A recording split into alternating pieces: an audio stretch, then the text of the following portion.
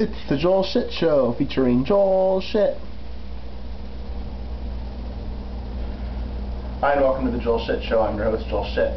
There's kind of a social phenomenon behind the Oscars because like, you know, Monday you think about the Oscars from the day before, but then you have to talk to everybody else about it to show how cool you are that you watched them when they were on. And then you talk about what you thought should have happened and how so-and-so wasn't very funny or they were hilarious or look at how so-and-so was dressed. And you know I have to admit I had always chalked it up as just uh, inferiority of the average person. But after actually watching the Oscars for the first time ever I caught myself doing it many times. So I don't know. Maybe we're all inferior about different things that I am superior in my inferiority.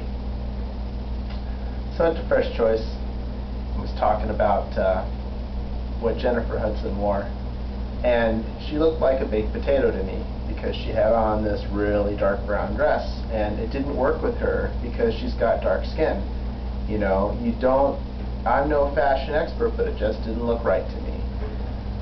In fact, on Sunday I'd made a comment about how she looked like a baked potato. Turns out when she arrived at the Oscars, she had some like silver colored thing over one of her shoulders, which could equate to the aluminum foil that you wrap a baked potato in. So even better. Of course, then she looked completely different when she had the sparkly red dress on. And I love sparkly things. But man, I don't know. If I was 14 years old, I would have had plenty to think about. That's all I'm saying. I don't know. Just doesn't do it for me anymore. But man, when I was 14, oh, look out. That was the shit right there. So I'm talking at Fresh Choice about this. Turns out the people at the booth behind the person I was talking to, well, they were black. And they overheard me talking about Jennifer Hudson. And I got the look. Well, you know what? It has nothing to do with that. It has to do with the fact that someone wore clothing that matched their skin color, and that generally doesn't look good. It didn't look good at the Oscars.